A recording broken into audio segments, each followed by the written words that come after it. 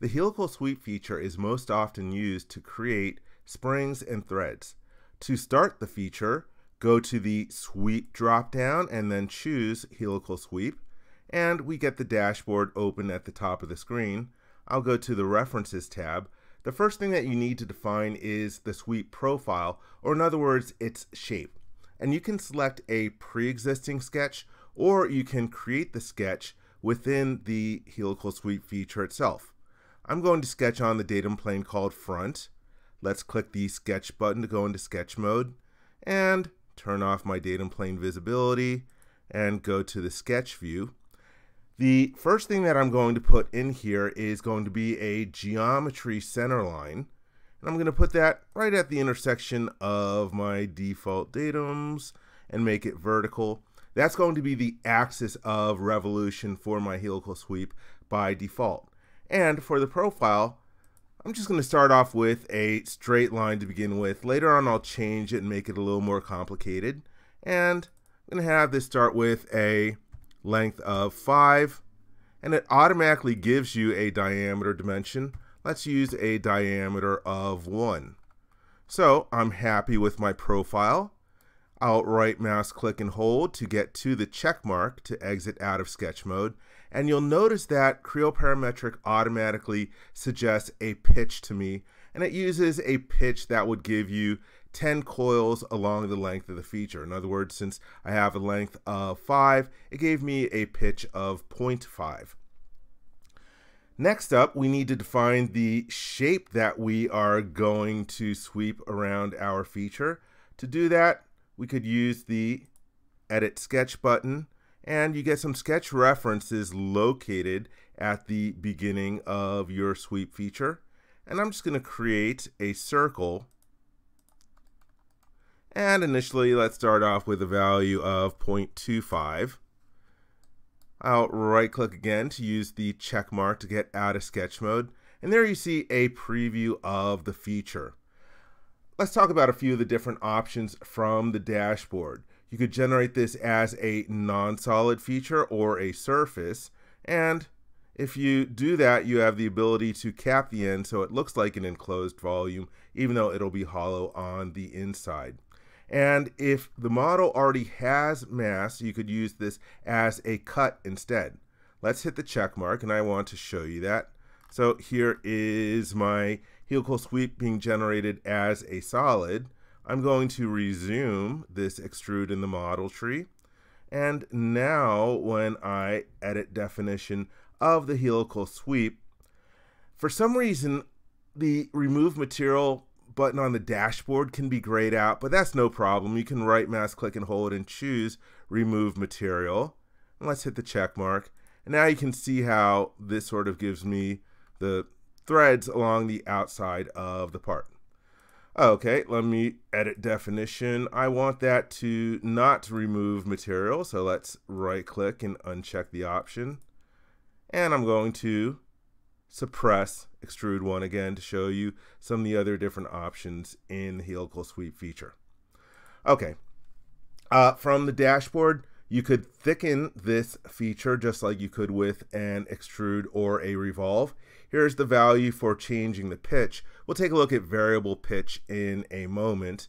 And also you can choose whether you want this to be going in the left hand direction or the right hand direction. The default is the right hand direction. We already took a look at the references tab. This is where you have the ability to change the profile, flip the direction as well. Here it's using the internal center line that I sketched as the axis of revolution and you can choose some other reference like a datum axis in your model. You also have section orientation control.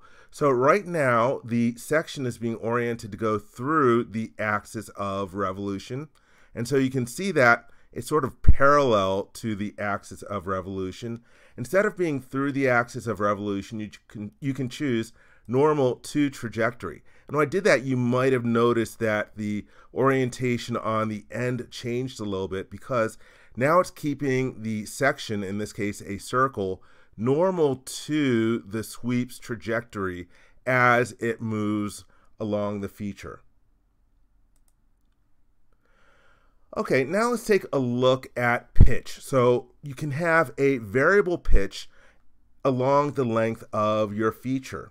And if I click the add pitch button, now I can have a different pitch at the start and the end. So maybe at the start, I'm going to use a value of 0.5, and at the end, I'll use a value of 1. And you can see in the preview how it's going to interpolate from that smaller pitch value to a larger pitch value.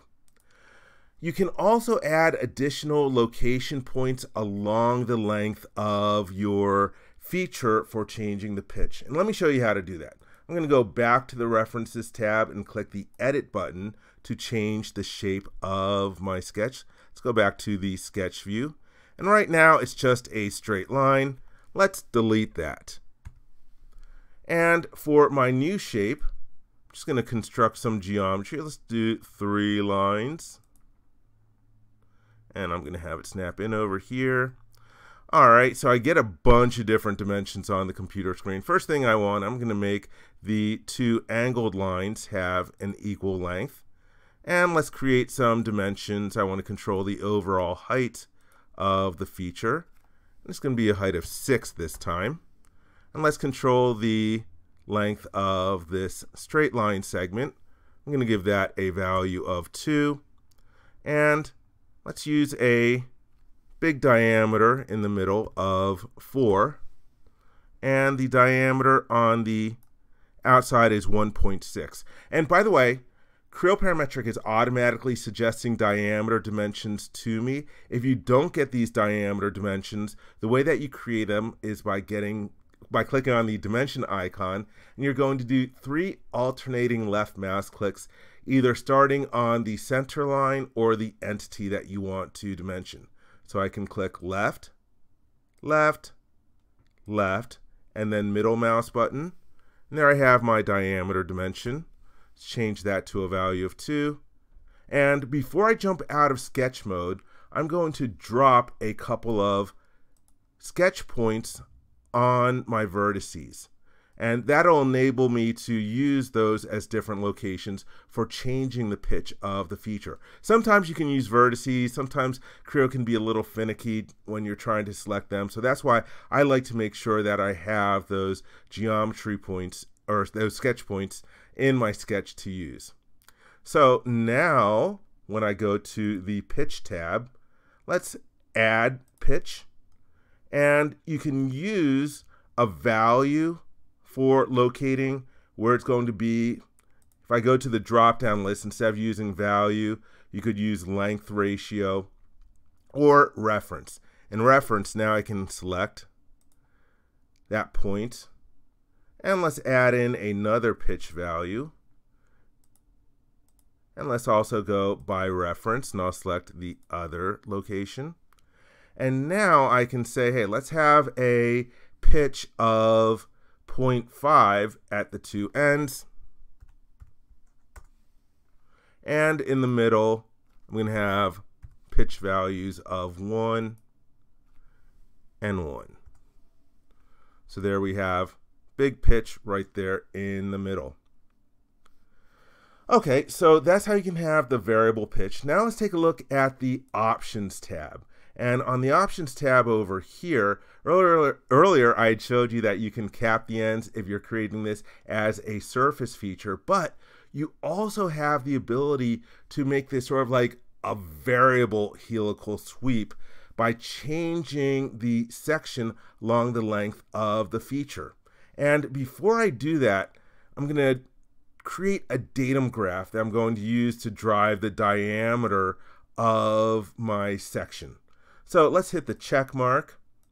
And to create a datum graph, we're going to go to the datum drop-down menu and choose graph.